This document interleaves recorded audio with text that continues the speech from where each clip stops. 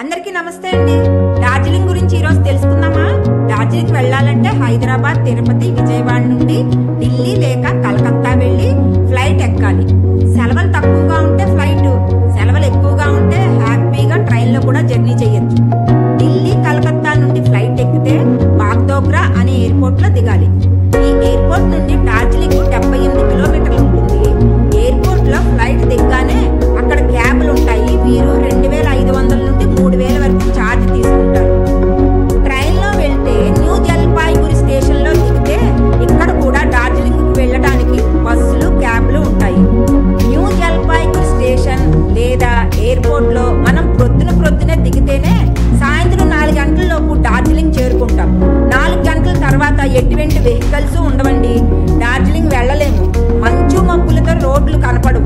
ఒకవేళ అనుకోని పరిస్థితుల్లో సాయంత్రం దిగితే న్యూ జల్పాయిగురిలో సాయంత్రం హోటల్స్లో ఉండి మరనాడు ప్రొద్దుటే డార్జిలింగ్ వెళ్ళవచ్చు.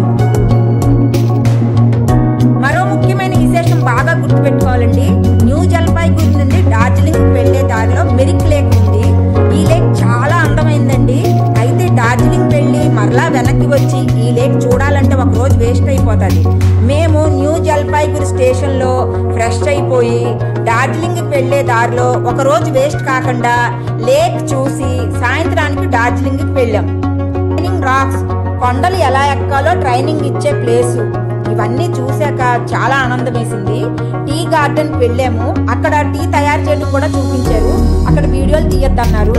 అక్కడ నుండి రోప్ వేకి వెళ్ళాం.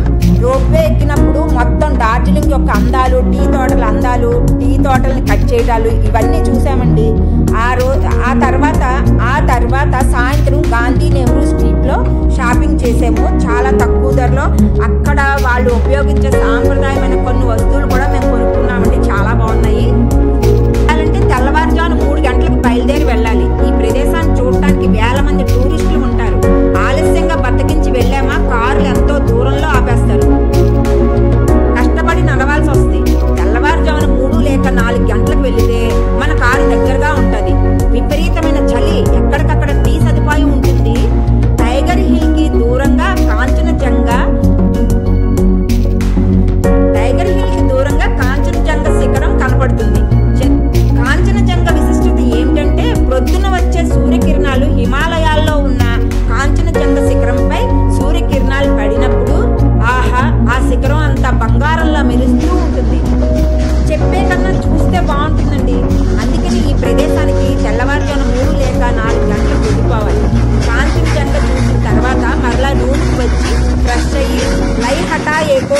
వెళ్ళాం. తర్వాత టిబెటిన్ అనే ప్రదేశానికి వెళ్ళి అక్కడ తివాసీ నేటివ్స్లో కాయితో ట్రైన్ ఇచ్చి వార్ మెమోరియల్ చూసాం. ఆ తర్వాత డార్జిలింగ్ నుండి గ్యాంగ్టాక్ వెళ్ళే దారిలో లైహటా ఏకో పార్క్. అక్కడ చాలా బాగుందండి ఆ పార్కు. ఎన్ని వింత వింత రకాల పువ్వులో అందమైన పువ్వులో. సాంప్రదాయమైన దుస్తులను వేసుకున్నామండి. నాకు ఎక్కడికైనా వెళ్ళినప్పుడు సాంప్రదాయమైన దుస్తులు వాళ్ళ వాళ్ళ ఆభరణాలు వేసుకోవాలంటే నాకు చాలా ఇష్టం అండి మనం సిగ్గుపడ్డామా అవన్నీ మిస్ అయిపోతాము. నేను మాత్రం చక్కగా ఎంజాయ్ చేస్తానండి. మీరు కూడా చక్కగా ఇలాంటి ప్రదేశాలు